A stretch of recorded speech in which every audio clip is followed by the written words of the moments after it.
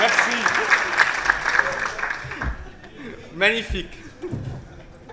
Ça commence bien. Hein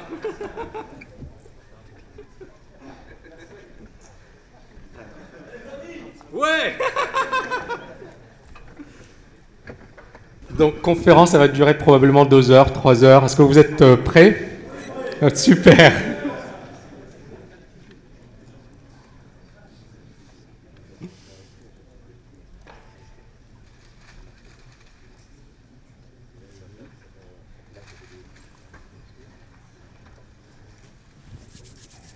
ça commence à quelle heure euh, Ah, normalement c'est bon. Hein. Excellent. Bon, alors j'ai... Donc je suis désolé, je vais rester assis. Est-ce que vous m'entendez bien? Super, j'aurais préféré me, lever, mais bon, je vais peut-être, euh, voilà, ça va être un peu plus magistral, un peu plus sérieux, mais l'essentiel, c'est que le contenu soit là. Alors tout d'abord, euh, un immense merci d'être venus aussi nombreux du, monde entier. J'ai des étudiants, alors, mais vraiment, c'est incroyable, viennent de tous les coins de la planète. Donc ça me fait un immense plaisir d'être aujourd'hui là parmi vous et de partager avec vous euh, bah, cette conférence. Et euh, je vais revenir aujourd'hui sur un thème que j'affectionne tout particulièrement, à savoir la psychologie des foules. Euh, pour moi, effectivement, c'est un thème qui est d'une grande importance parce qu'il faut le savoir, euh, sur les marchés, le plus important, ce n'est pas euh, de, comment dirais de développer des modèles extrêmement sophistiqués. Le plus important, encore une fois, c'est d'avoir une bonne connaissance de soi, mais également une bonne connaissance des marchés, de la psychologie des foules. Donc, la conférence, elle se focalisera sur la psychologie des foules, mais également sur les indicateurs techniques. Pourquoi les indicateurs techniques? Parce que je considère que c'est la manière la plus efficace de cerner à un instant T donné la psychologie qui règne sur les marchés. C'est-à-dire que si effectivement vous savez bien utiliser les indicateurs techniques, ça vous permettra de cerner des situations d'euphorie, de panique assez rapidement. Donc je vous conseille vivement de les euh, étudier. Alors juste un petit point, il faut savoir que le 3 avril, je vais donner une conférence, 3 avril, je donnerai une conférence euh, en ligne, hein, donc effectivement euh, dans laquelle je vais revenir sur les différents styles de trading. Donc si vous voulez vous inscrire, vous allez sur le site tamikabage.com, donc je vous invite à vous inscrire en allant sur le, site. Et euh, cette conférence devrait durer deux heures, donc ça me permettra également de répondre à vos questions. Alors là, rapidement, avant de commencer la conférence, j'ai envie d'introduire cette conférence en revenant sur Emmanuel Derman. Euh, Emmanuel Derman, c'est un quant, donc un quant, c'est un matheux qui est extrêmement célèbre aux États-Unis. Euh, il a été le, responsable euh, des quants chez Goldman Sachs, donc grosse banque d'affaires. Et ce monsieur a écrit un livre en 2007, My Life as a Quant, mais également un autre bouquin en 2012, Pourquoi les modèles se comportent mal. Demain, je reviendrai un peu plus dans le détail sur le trading algorithmique, sur les robots, sur les points forts, mais également les faiblesses. Demain, je reviendrai sur comment construire un système de trading solide et comment justement il faut prendre en compte cette nouvelle donne. Parce qu'il faut le savoir, les marchés ont changé. D'accord? Euh, Si effectivement, il y a 10 ans, il y a 15 ans, c'était avant tout des traders euh, qui euh, travaillaient depuis manuellement, de manière discrétionnaire, aujourd'hui, on a de plus en plus de robots. Ces robots représentent parfois 50, 60, voire 80% des ordres transmis sur les marchés. Donc c'est considérable. Ça a un véritable impact. Maintenant, cela ne veut pas dire que l'individu n'a pas d'avantage. Mais pourquoi on a introduit les robots? Et je suis désolé de diverger légèrement, mais c'est important de, comprendre tout ça. Parce qu'un robot, ça coûte rien. Il y a le développement, il y a les machines, mais il ne fait pas grève, il n'a pas d'émotion, il est sympa, et en plus, ça peut rapporter gros. Donc, à un certain moment, beaucoup de personnes ont commencé à développer des robots. Et je ne sais pas si vous vous rappelez, j'ai publié un article en 2007 pour une revue spécialisée dans les black box. Et on m'avait posé la question des black box. Qu'est-ce que vous, qu'est-ce que vous pensez des black box? Et je leur ai dit, ça me fait effectivement euh, penser au mythe de l'alchimiste. C'est-à-dire cette situation où il suffit de cliquer sur un bouton et d'avoir effectivement de tout ce qu'on touche euh, euh, se transforme en or. Donc effectivement, ce mythe de l'alchimie, c'était un petit peu ça pour moi les quantes. Et donc, c'était ce que j'avais dit à l'époque. Et là, je reviens sur ce monsieur Derman. Qu'est-ce qu'il nous a dit, ce monsieur? Il nous a dit, et cette phrase, je la trouve magnifique. En physique, vous jouez contre Dieu. Dieu ne change pas les règles très souvent. En finance, vous jouez contre les créatures de Dieu, des agents qui vont valoriser un actif en se basant sur des opinions éphémères. Donc, des créatures de Dieu, donc effectivement des hommes ou des femmes, qui sont dominés par leurs émotions, euphorie, panique, etc. Et donc ils vont se baser sur des opinions éphémères, c'est-à-dire qu'il n'y a rien de scientifique. Donc le problème des modèles, c'est que ces modèles ont pensé qu'ils pouvaient utiliser des sciences exactes sur les marchés, et que ces sciences exactes allaient leur permettre d'anticiper tous les mouvements. Ces mathématiciens ont oublié qu'il y avait toujours ce facteur humain et qu'on pouvait très difficilement le modéliser. Très difficilement, le modéliser. Autre phrase de ce monsieur, les économistes n'ont rien compris au marché, ils se trompent en essayant de mathématiser à tout prix des phénomènes humains. Et alors, pourquoi j'aime beaucoup ce qu'il a écrit? Parce que c'était ce que j'avais écrit en 2007. Grosso modo, je n'avais pas dit en physique vous jouez contre Dieu, mais c'était la même idée. il a écrit ça en 2012. Pourquoi? Parce qu'en 2007, les comptes étaient tout puissants. En 2012, ils se sont pris de grosses baffes et on a dit vous êtes à l'origine de la faillite du système. Il a expliqué que les comptes n'étaient pas du tout à l'origine de la faillite du système et que ce, ce n'étaient pas les comptes, mais c'était les politiques économiques, etc., etc. Mais je reviens sur ce point pour une raison précise. La conférence porte sur la psychologie, sur les indicateurs techniques. Donc il est important effectivement de savoir qu'est-ce qui fait bouger les marchés boursiers et pourquoi les marchés montent et baissent. Quelles sont les raisons à l'origine effectivement euh, des mouvements boursiers? Et est-ce qu'un algorithme va nous permettre de tirer avantage sur les marchés? Mais je reviendrai sur cet aspect, donc là c'est juste une introduction, je reviendrai sur cet aspect plus en détail demain, durant la conférence de demain euh, soir. Je reviens rapidement donc un petit peu sur la psychologie des foules, juste pour vous montrer l'importance. Là, c'est euh, un petit exemple d'introduction. C'est un professeur d'une grande école de commerce parisienne qui à un certain moment fait une bourde monumentale. On a le titre Renault qui perd 50% de sa valeur. Et ce prof de finance nous explique il nous dit que c'est impossible, que les marchés ont fortement baissé et que justement si on se base sur les simples fondamentaux, et là je reprends ses propos, il reprend la valorisation de Renault, il nous explique que Renault vaut 7,3 milliards d'euros en bourse, c'est-à-dire deux années et demie de, de bénéfices, et il nous explique également que les usines de Renault valent 13 milliards d'euros, que les stocks de Renault avoisinent 7 milliards, donc si on prend les usines si on prend les stocks, 13 plus 7 euh, égale 20 milliards. Or, en bourse, Renault ne valait que 7,3 milliards. Nous sommes bien d'accord que Renault est sous-évalué. Donc, si on se base uniquement sur les fondamentaux, il fallait acheter Renault. Et c'est ce que ce monsieur a dit sur BFM, mais également dans pas mal de médias à l'époque. Et, également, je me souviens, dans une conférence, euh, il y avait tous les étudiants et à la fin, il avait été applaudi, à la fin de sa conférence. Qu'a fait le marché juste après? Il s'est effondré. On est passé de 50 euros à 10 euros. C'est un exemple précis, mais il y en a plein d'autres. De situations où il y a des aberrations. C'est-à-dire que les fondamentaux vous disent une chose et le marché fait autre chose. D'accord? Et donc, si on ne comprend pas, si on n'a pas envie de comprendre que sur les marchés, il ne faut pas se focaliser sur les nouvelles, sur les fondamentaux, mais sur le marché en lui-même, on n'a rien compris. D'accord? Donc le danger, encore une fois, de la plupart des opérateurs, c'est qu'ils... Je ne sais pas si je peux... Je, peux bouger ça ou pas Non. Bon, je vais, le rapprocher. Alors, le problème... Alors, je suis désolé parce que je ne peux pas me lever. Donc, le problème de, pas mal d'individus, c'est qu'ils ne comprennent pas justement que le plus important sur les marchés, c'est la psychologie des foules. C'est ce qui fait effectivement bouger un cours, à la hausse ou à la baisse. Donc là, en l'occurrence, on voit effectivement le titre qui baisse fortement. Et donc, moi, le petit conseil que j'ai envie de donner à ce monsieur, mais bon, je pense qu'il le sait, c'est qu'effectivement, il faut relire Jean, euh, euh, John Maynard Keynes, l'un des plus grands économistes du XXe siècle, qui dit la chose suivante. Est-ce que je peux le, retirer? D'accord. Le, micro est comme ça, je l'utilise. Ok. Et là, normalement, je. Voilà, ok, parfait. C'est bon? Super, merci beaucoup. Bon, je suis un peu limité dans les mouvements, mais c'est pas grave. Donc, rapidement, je reviens sur le, concours de beauté. Donc, effectivement, il n'y a rien de plus irrationnel que d'investir de manière rationnelle sur les marchés. Donc, le plus important pour, pour vous, ça va être justement de cerner à un certain moment qu'est-ce qui fait le marché.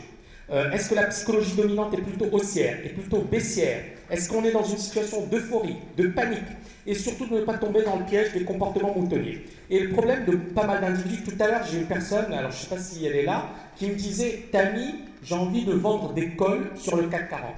Et il m'explique, Tami, le marché a déjà beaucoup monté, euh, il risque de s'effondrer. À la fin de, de, la conférence, je reviendrai sur les perspectives des marchés et je vous dirai quels seront les éléments pour anticiper un crack, d'accord? Mais à la fin de la conférence, on a le temps.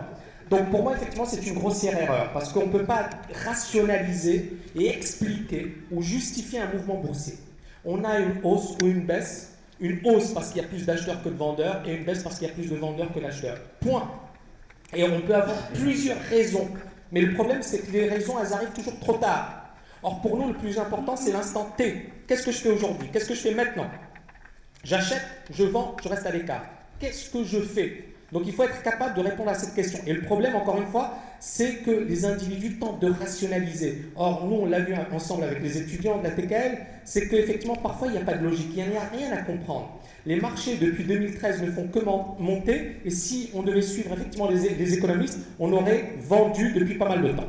Donc le deuxième point, c'est justement quels sont les véritables fondamentaux des, cours boursiers, quels sont les déterminants des cours boursiers. Je reviens sur cette phrase de, de Paul Krugman, prix Nobel d'économie en 2009 que j'apprécie tout particulièrement, les économistes font rarement de bons spéculateurs, ils réfléchissent mal. Pourquoi j'apprécie cette phrase? Parce que c'est un économiste qui a l'humilité de dire qu'on ne comprend rien au marché, d'accord? Et euh, les marchés, effectivement, euh, ont une logique qui n'est pas celle des économistes. Donc, comme je vous l'expliquais, donc, on a ce professeur d'économie qui nous dit, voilà, Renault est sous-évalué, elle est sous-valorisée, il faut l'acheter. Le marché s'est effondré. Or, euh, un bon trader n'aurait jamais acheté ce titre. Donc effectivement, quels sont les véritables, les véritables déterminants? Là, je reviens sur une expérience rapide réalisée par trois économistes américains, Smith, Suchanek, Williams. C'est une expérience extrêmement célèbre. Dans cette situation, on donne aux individus la valeur fondamentale. On leur dit, voilà, ça vaut tant. La valeur fondamentale, c'est-à-dire la véritable valeur d'un actif financier, est de 100 et le cours boursier est de 100. Dans un monde parfait, donc on a normalement des individus qui sont rationnels, qui prennent les meilleures décisions, le cours aurait dû faire du surplace. Aucun acheteur, aucun vendeur. Pourquoi? Ça ne sert à rien. Le cours est bien valorisé. Qu'est-ce qui se passe? Dans un premier temps, on assiste à une bulle spéculative, et dans un deuxième temps, on assiste à un crack boursier. Et donc ça, ça prouve une chose, encore une fois, c'est l'importance de la psychologie sur les marchés. Je reviens rapidement sur le cas euh, du titre Yahoo. Regardez, en 97, le cours de Yahoo valait 1 dollar. En 2000, il valait 125 dollars. En 2001, il valait 4,5 dollars. Où est la rationalité? Où est la logique? Est-ce que sur le plan fondamental, on peut justifier ces mouvements? Il n'y a aucune justification sur le plan fondamental. Et celui qui vous dit le contraire n'a rien compris. Un autre exemple, rapidement, hein. eToys, Toys R. On a deux entreprises. Une entreprise qui est une start-up, qui a un chiffre d'affaires de 30 millions de dollars, qui a zéro magasin, qui a une perte de 28 millions de dollars. On a une autre entreprise qui a un chiffre d'affaires de 11 milliards, qui a 1156 magasins, un profit de 376 millions de dollars. Sur le plan fondamental, Toys R explose eToys. Pourtant, en bourse, eh bien, en 1999, eToys valait 33% de plus que Toys R Us. Et on est bien évidemment sur des actions. Il y a des gens qui sont quand même, entre guillemets, sensés, qui achètent en se basant sur des raisons, d'accord, solides. Eh bien là, on a vu une, folie, une déconnexion totale des cours boursiers avec la réalité économique. En 2001, eToys chute et fait faillite. Donc, les personnes qui effectivement n'intègrent pas la dimension psychologique, dans l'analyse de marché, dans l'anticipation, dans la prévision, elle rate quelque chose qui pour moi est considérable. Donc il est vraiment, et je dirais que c'est fondamental, d'intégrer la dimension psychologique. Donc les raisons qui font effectivement qu'un cours monte ou baisse sont nombreuses. Première raison, c'est les raisons d'ordre fondamental. Les fondamentaux, c'est l'offre et la demande, c'est l'économie, les nouvelles, etc., etc. Ce que je vous ai expliqué notamment avec le cas de Renault. On a des raisons d'ordre psychologique. Et dans ces raisons d'ordre psychologique, on a ce que l'on appelle la rationalité mimétique. C'est-à-dire que quand ça monte, qu'est-ce qui se passe? Tout le monde achète parce qu'on considère que la hausse va se poursuivre. Quand ça baisse, tout le monde vend parce qu'on considère que ça va se poursuivre. Et c'est ce que l'on a eu en 2000, euh, durant effectivement, euh, avant le crack des, valeurs technologiques, 99-2000, on a eu une forte accélération des, des valeurs. Pourquoi? Parce qu'il y a eu ce comportement moutonnier. Tout le monde à l'époque se disait ça va continuer. Tout le monde se disait c'est le moment d'acheter, c'est le meilleur moment d'acheter. Tout le monde disait à son voisin tu n'as pas acheté de valeurs technologiques, tu n'as rien compris. Et c'est ce mouvement de folie qui a expliqué la hausse des cours. Et c'est également ce mouvement de folie qui a expliqué euh, l'effondrement de certains cours boursiers. Donc on voit que la psychologie est omniprésente sur les marchés financiers et qu'il s'agit de la comprendre. Alors il y a une théorie économique qui est euh, assez présente en France, euh, mais également un peu partout dans le monde, c'est la théorie des conventions. André Orléans, je ne sais pas si vous le connaissez, mais c'est quelqu'un qui est quand même assez réputé, directeur de recherche au CNRS, qui a écrit pas mal de bouquins sur les bulles spéculatives. Et il explique que justement dans une situation d'incertitude, on va rechercher des références, ce que l'on appelle la déconvention. D'accord? C'est quoi une convention? C'est effectivement une valeur communément admise. Et c'est cette valeur qui va nous permettre effectivement de nous référer. Donc par exemple, prenons le cas des valeurs technologiques. Euh, on savait bien que ça ne valait rien. Mais comme les autres l'achetaient, on se disait, ben, comme ils l'achètent, et comme effectivement Itoys ça va exploser et ça va écraser Toys R Us, eh bien il faut l'acheter. Même si sur le plan de la stricte logique, Itoys ne valait rien. Et sur le plan fondamental, il ne fallait surtout pas l'acheter. Mais le fait que les autres l'achètent nous incitait à l'acheter. Donc on voit bien encore une fois l'importance de la psychologie et le fait que ça influence les décisions. Et donc pour nous, c'est important. Pourquoi? Prenons le cas l'année dernière du DAX. Et je pense que, encore une fois, cette conférence et ce cours est extrêmement important parce que si on n'a pas compris ça, on n'a rien compris en trading. L'année dernière, j'avais beaucoup de personnes qui me disaient ça va se casser la gueule. Les indices vont baisser, les indices vont baisser, les indices vont baisser. Tout le monde, vous prenez n'importe quel économiste, prenez même des analystes techniques, il y en avait pas mal, qui vous disaient ça va baisser. Et ça, c'est ce qu'ils disaient. Mais la simple logique, c'était quoi? C'était que justement, on était dans une convention. Tout le monde achète parce que les autres achètent. Alors bien évidemment, ça peut s'effondrer, on peut avoir de mauvaises nouvelles, mais regardez là, et je vous l'avais dit tout à l'heure, on a eu quasiment la troisième guerre mondiale, on y a échappé, et le marché, il monte toujours. Vous voyez? Donc, si les gens veulent acheter, si les investisseurs veulent acheter, ils vont acheter. Point. Et à partir de là, c'est tout, c'est le plus important pour nous. Il ne faut pas effectivement essayer de rechercher des raisons, essayer de rationaliser tout ça, parce que parfois il n'y a tout simplement pas de raison. C'est euh, les opérateurs qui effectivement sont plutôt acheteurs ou plutôt vendeurs. Donc la convention, effectivement, c'est un référent communément admis. Et quand plus, il y a de personnes qui effectivement adhèrent à cette convention, et plus elle devient solide, plus elle se renforce. Donc, je reviens également sur cette phrase que moi je trouve euh, très riche, celle de Etsy Kota, euh, qui est la suivante, c'est il est inutile d'essayer de comprendre les marchés financiers, c'est comme si une personne essayait de comprendre euh, la musique, cela n'a aucun sens. Et pour moi, euh, encore une fois, je ne vous dis pas que je n'essaie pas de comprendre les marchés, mais du moins je n'ai pas cette prétention.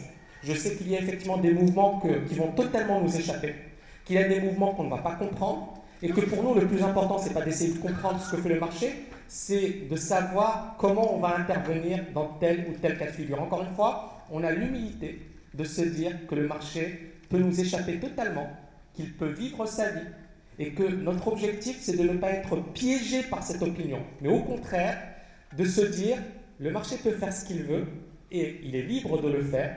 Par contre, moi, je vais utiliser ces mouvements, d'accord, pour adopter mes stratégies, pour appliquer mes stratégies. Et c'est une autre manière d'opérer. Donc,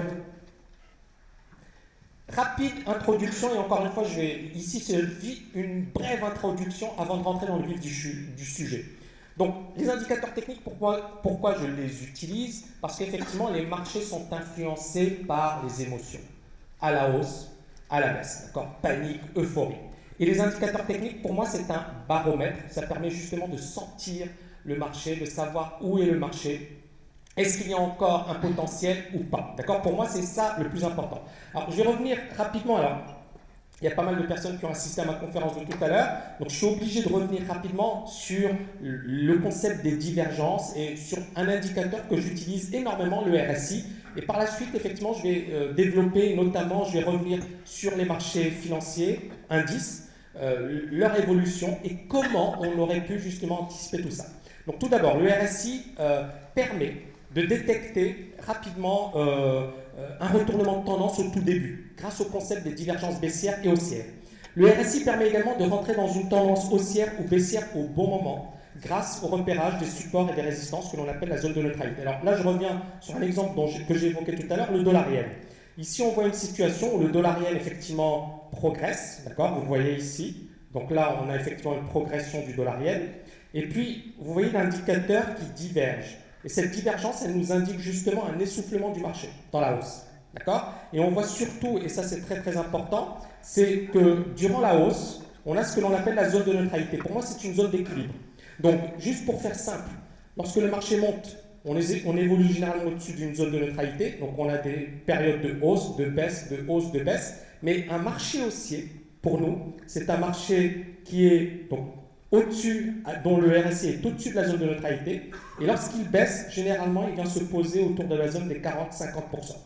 Et ça, c'est, lorsqu'on a ça, c'est tout d'abord, ça prouve la santé de la tendance en cours. Ça nous permet d'élaborer de, des stratégies parce qu'on sait que dans cette situation, il vaut mieux être plutôt acheteur que vendeur. Pourquoi? Parce qu'on a un flux qui est présent, on a des investisseurs qui, qui sont dans ce sens, et donc aller contre la tendance dominante, c'est dangereux.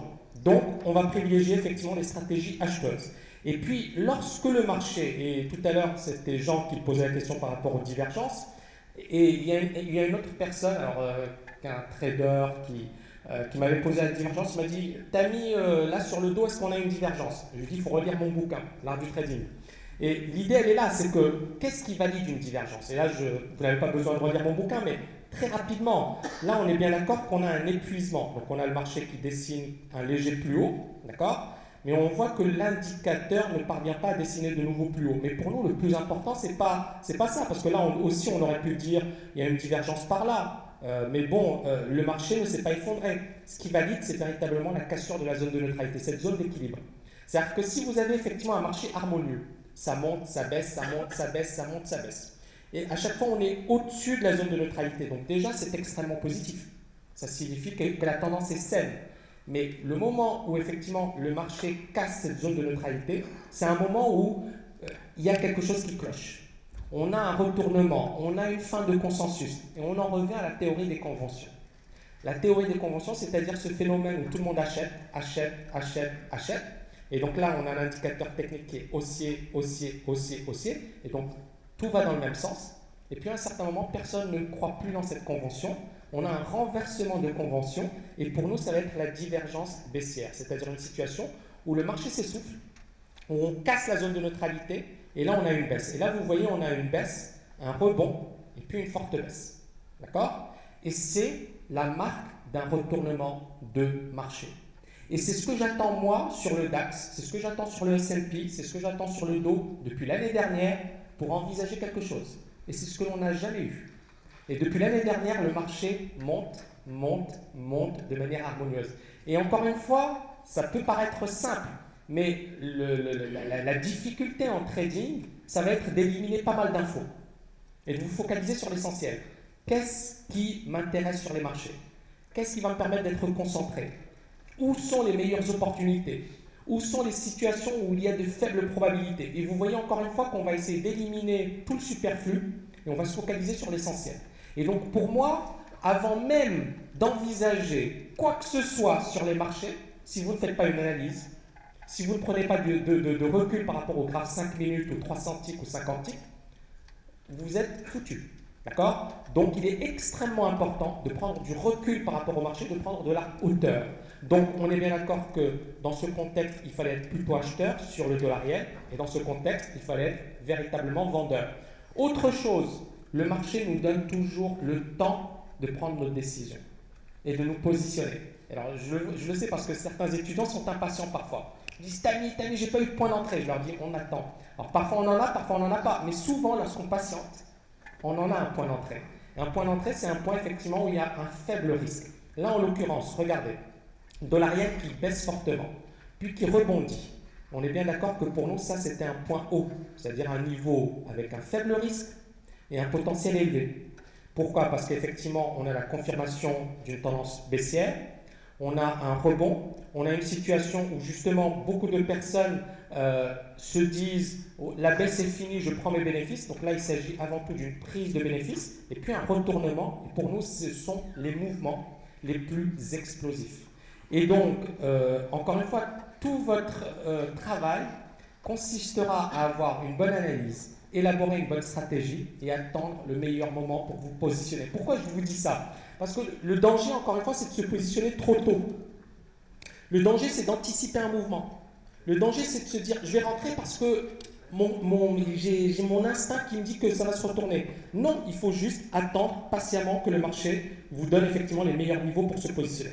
Je reviens ici rapidement sur le crack du Nasdaq en mars 2000. Vous voyez, on avait également un point haut. Le marché, regardez la zone de neutralité, il se pose, il se pose, et à un certain moment en avril, on casse, vous voyez, on baisse, rebond, baisse, rebond. Et donc là, on avait un premier point d'entrée, deuxième point d'entrée, troisième point d'entrée. Et encore une fois, tout le monde, 99, et encore une fois, et, là c'est une convention énorme. Euh, j'étais à l'époque, j'ai travaillé dans un cabinet d'analyse technique, et à l'époque, 99% des analystes financiers de Wall Street étaient acheteurs. 99%. Moi, je me souviens, j'allais dans les rues, euh, donc sur les kiosques euh, de journaux, on voyait en grand, il faut acheter Alcatel. Les journaux financiers qui disaient acheter Alcatel. C'était le plus haut. Hein. Acheter, c'est le moment. Et le marché, qu'est-ce qu'il nous avait fait à l'époque? On a eu une divergence et on a cassé la zone de neutralité. Et ça, ça nous, dit, ça nous donne quoi comme info? C'est la fin de la convention. D'accord? Tout le monde croyait que les marchés allaient monter, mais effectivement, lorsqu'on a une divergence qui est validée, c'est le signe que le marché va se retourner et qu'il faut effectivement sortir de sa position. Donc encore une fois, vous voyez l'importance, et je dis bien l'importance de comprendre la psychologie. Donc tant que le marché ne nous donne pas, par exemple là sur les indices, moi je n'hésiterai pas à vendre si le marché nous donne des signes de faiblesse. Pour l'instant, il ne nous en donne aucun. Et euh, moi je pensais, alors... Euh, la semaine, il y a deux semaines, hein, avec tout ce qu'on a eu comme événement, je me suis dit là, c'est bon, on va voir le crack. Mais on ne l'a pas eu. Et on ne l'a toujours pas eu. Donc, encore une fois, ce que je veux dire, c'est que euh, si vous avez une bonne stratégie, une bonne approche, vous pouvez effectivement détecter ces mouvements puissants, mais il faut avoir le courage d'attendre et la patience d'attendre. Un autre exemple dont, j'ai parlé tout à l'heure également, c'est le titre Vivendi. Donc on voit un marché effectivement qui progresse, qui progresse. Et à chaque fois, vous voyez cette zone de neutralité, zone de neutralité, zone de neutralité. On vient se poser sur ces points bas. Et ça, c'est extrêmement puissant. Et vous savez que juste après, effectivement, le marché a cassé la zone de neutralité, s'est effondré. Mais on était également dans cette convention. Je ne sais pas si à l'époque vous vous en souvenez, on avait Jean-Marie Messier et surtout, tout le monde achetait Vivendi. Tout le monde achetait Vivendi et tout le monde disait c'est la valeur qu'il faut avoir en fond de portefeuille c'est la valeur qui va me permettre de payer ma retraite. C'est la valeur qui va me permettre de payer ma retraite. Et juste après, Vivendi s'est effondré. Et une analyse très simple nous aurait permis de, nous dire c'est fini. On passe à autre chose. Donc, encore une fois, la psychologie des foules et les indicateurs. Pourquoi je vous dis, pourquoi je parle des indicateurs techniques? Parce que, premièrement, c'est important pour nous de connaître quel est le sentiment dominant. Et donc, on voit bien que Ici, une analyse très simple de Vivendi nous permet de déterminer que le marché est haussier. On est bien d'accord? Et autre point important, c'est que le jour où le marché va casser cette zone de neutralité, ça va être beaucoup moins bon. D'accord? Et donc, encore une fois, de manière très simple, on détecte avec ce graphique la tendance, la convention dominante, euh, les, investisseurs, donc l'idée qui domine sur les marchés, et le niveau sur les indicateurs qui va nous permettre de, dire c'est la fin. Le marché va se retourner. D'accord? Donc ça, c'est très très important. Donc, dans une tendance haussière, donc effectivement, la zone de neutralité se situe autour de 40-50%. Dans une tendance baissière, la zone de neutralité se situe autour de 60-50%. Donc ici, je reviens sur un autre exemple, et, c'est un exemple euh, qu'on a vécu en 2008. Donc c'est le plan Paulson, soutien massif au marché. Alors là, on a le 20 septembre, donc on a un plan massif. Bush et Paulson, Paulson à l'époque c'était euh, ministre de, l'économie, et qui, annonce à l'époque la proposition de racheter des actifs toxiques des banques à hauteur de 700 milliards de dollars. On peut dire que ce n'est pas rien 700 milliards de dollars. Hein. Il y a plusieurs pays africains qui font pas 100 milliards de dollars par an de PIB. 700 hein. milliards de dollars, c'est colossal. Et puis, le, le Dow Jones, à l'époque, valait 11 500. Qu'est-ce qui s'est passé juste après? On a eu un effondrement du marché, d'accord? Et euh, le Dow Jones qui vaut 9 500. Donc effectivement, un marché qui baisse fortement alors qu'on valait 11 500, qui s'effondre, et puis effectivement, euh, qui réagit mal face à cette nouvelle. Pourquoi je vous parle de cet exemple? Parce que c'est une nouvelle qu'on peut considérer comme positive. Et dans une situation, encore une fois, où vous avez une nouvelle positive et le marché réagit négativement, ça veut dire quoi? Ça veut dire que la convention qui est partagée, elle est baissière. Les opérateurs sont baissiers. Point. C'est pour ça que le monsieur tout à l'heure qui m'a dit je veux vendre un call sur euh, le CAC 40 et qui me dit bon les marchés vont pas continuer à monter, je lui dis je n'en sais rien. Et je peux vous dire que jusqu'à voilà l'heure d'aujourd'hui, je ne sais pas ce que va faire le marché. Mais j'ai une analyse, j'ai une stratégie et j'attends le meilleur moment pour être acheteur ou pour être vendeur. Et c'est véritablement comme ça que j'opère. Mais vraiment, et je pense que mes étudiants ne vont pas me contredire. Donc on a ici un effondrement, le, dos qui vaut 9500. Et pardon. Et là, vous voyez le 8 octobre, très très important. On a donc on voit cette baisse, forte baisse du marché, et puis on a sept banques centrales qui décident de baisser leur taux en même temps.